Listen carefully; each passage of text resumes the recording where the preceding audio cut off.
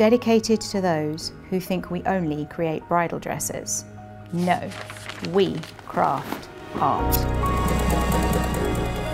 Atelier Pronovias, where art meets love and vice versa.